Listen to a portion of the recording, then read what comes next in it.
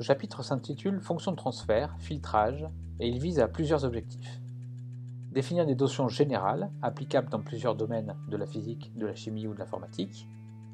Comprendre la notion de filtrage par l'intermédiaire des filtres électroniques, basiques, faciles à caractériser.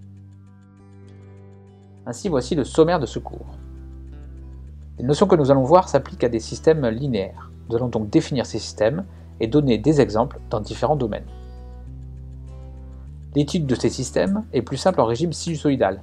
C'est ainsi qu'il est important de comprendre la décomposition en série de Fourier.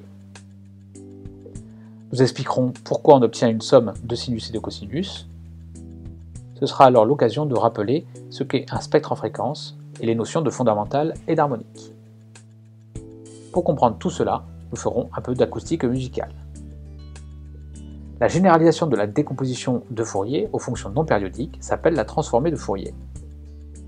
Au-delà de son aspect mathématique, que l'on ne cherchera pas à creuser, nous verrons brièvement des applications de celle-ci. Nous allons ensuite rentrer au cœur de notre chapitre en présentant la notion de fonction de transfert et montrer en rapport avec celle-ci pourquoi le régime sinus est important.